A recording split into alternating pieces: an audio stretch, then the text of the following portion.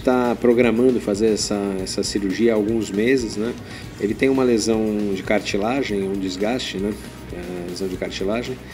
Uh, na área de carga do côndilo femoral. Côndilo femoral é uma estrutura uh, inferior do fêmur que articula com a tíbia, bem no joelho, né? É uma região onde suporta a carga, tá?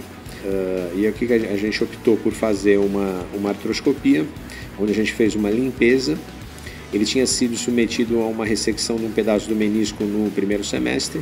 Isso aumentou um pouco a lesão de cartilagem, porque desequilibrou um pouco, que é normal depois de uma meniscectomia, de você tirar uma parte do menisco. Uh, e a gente fez uma limpeza, regularizou essa, essa ferida, essa lesão da cartilagem e colocamos uh, um produto que chama-se PRP, que a gente tem usado muito em lesão muscular, e a gente optou por usar também agora intraarticular, na lesão de cartilagem dentro do joelho. O procedimento da limpeza, da artroscopia, da regularização é um procedimento que em 45 dias, ele, 45 a 60 dias ele está bem. Né? O plasma rico em plaquetas, o PRP, para ele fazer ação, ele demora talvez um pouco mais do que isso. Né? A ideia nossa é já no final de janeiro, começo de fevereiro, ele está integrado ao grupo. O Henrique, no final do primeiro semestre, começou a ter dor na região do osso do pubis, né? da, uh, que é uma articulação que tem muito pouco movimento. Uh, isso chama-se pubalgia, que é a dor na região do pubis. Inicialmente a gente fez um tratamento conservador, que é protocolo. Uh, ele ficou seis semanas afastado dos gramados em tratamento. Esse tratamento é baseado em reequilíbrio dessa musculatura. Então a gente fortaleceu a musculatura abdominal e alongamos bem a musculatura da coxa. Ele ficou em seis semanas assintomático, sem dor, uh, voltou a correr, voltou a fazer mudança de direção, voltou a fazer impacto, sem dor. Colocamos ele no campo, ele voltou a treinar sem dor, voltou a jogar sem dor.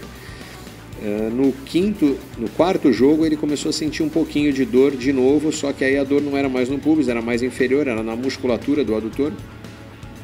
Uh, e aí, durante o segundo semestre, ele alternava períodos com dor e períodos sem dor. Né? E sabendo já que a gente ia ter que submeter ao procedimento cirúrgico mais preventivamente para o ano que vem do que curativamente. Por quê? Porque a gente sabia que colocando ele na sequência de treinos e jogos de dois campeonatos, dois torneios seguidos, é, juntos, simultâneos, ele ia voltar a ter uma dor mais intensa e aí a gente ia ter que tirar ele por alguns meses. O processo de recuperação, quanto tempo que, que ele vai estar tá em campo? É, são oito semanas, em média oito semanas. Quer dizer, também a ideia é de final de janeiro já está já tá com o grupo.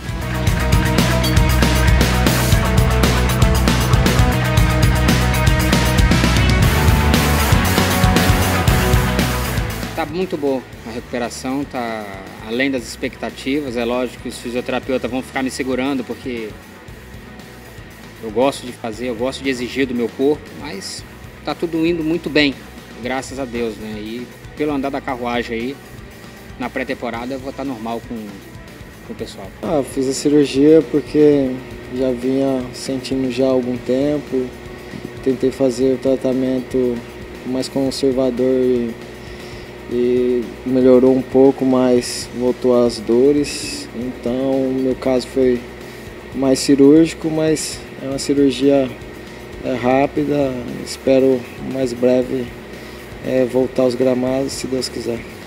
Como é que você está se sentindo aí um dia depois da cirurgia, né? já iniciando o tratamento com gelo? Ah, tô, tô me sentindo bem, claro, com, com bastante dores, mas agora é repouso, fazer tratamento com gelo, o pessoal que do CEPRAF para estar tá tratando, para estar tá melhorando o mais rápido possível.